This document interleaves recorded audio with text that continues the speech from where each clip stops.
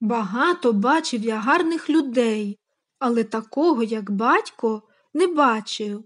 Голова в нього була темноволоса, велика і великі розумні сірі очі, тільки в очах чомусь завжди було повно смутку, тяжкі кайдани неписьменності і несвободи, весь у полоні сумного і весь той же час з якоюсь внутрішньою високою культурою думок і почуттів.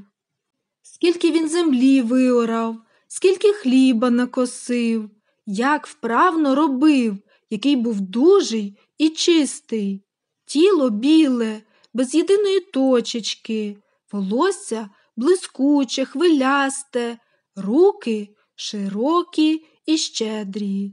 Як гарно ложку ніс до рота, підтримуючи знизу скоринкою хліба, щоб не покрапать рядно над самою десною на траві.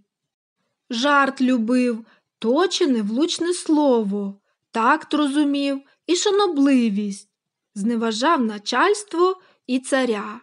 Цар ображав його гідність миршавою рудою борідкою, нікчемною постаттю і що нібито мав чин нижче за генерала.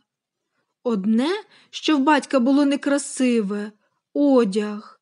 Ну такий носив одяг негарний, такий безбарвний, убогий, неначе нелюди зухвалі, аби зневажити образ людини, античну статую укрили брудом і лахміттям. Іде було з шинку додому, плете ногами, дивлячись у землю в темнім смутку, аж плакать хотілось мені, сховавшись в малині з піратом.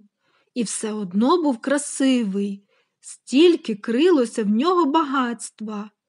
Косив він чи сіяв, гукав на матір чи на діда, чи посміхався до дітей, чи бив коня, чи самого нещадно били поліцаї, однаково.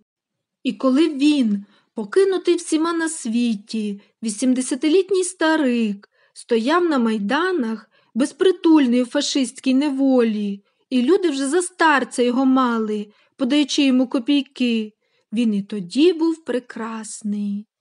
З нього можна було писати лицарів, богів, апостолів, великих учених чи сіятелів. Він годився на все.